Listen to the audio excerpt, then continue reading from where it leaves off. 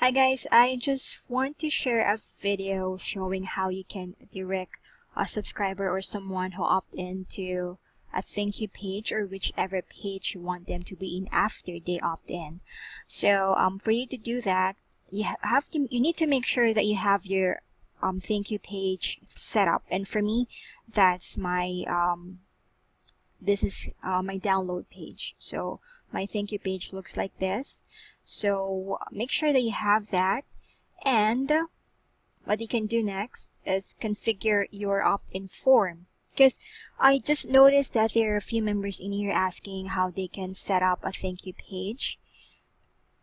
Because most of the time, if you don't set it correctly, if someone opt in, they'll be prompted or they'll be directed to this um, confirmation page of MailingBoss. So for us to avoid this from happening, what you can do is to set the right page. So for me, again, that's going to be a download page in this funnel. So what you can do is you can go here, just right click on your um, email form, go to change URL, and then the subscription confirmed make sure that you choose the right page. So you have four options. You have no action, meaning it won't do anything.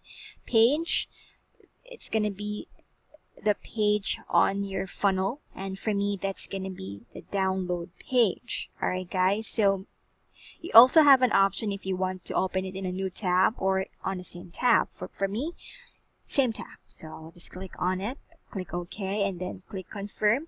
So what's going to happen is if someone opt in on this um, page, they'll be directed to my thank you page. So let's do a sample. Hope it worked. Alright, so oh what happened? Alright, so I'll go ahead and try to log in or opt in, sorry.